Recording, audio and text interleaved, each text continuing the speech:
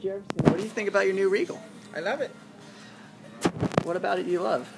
All the features, the sleekness, the color, the leather. I love it. All right, and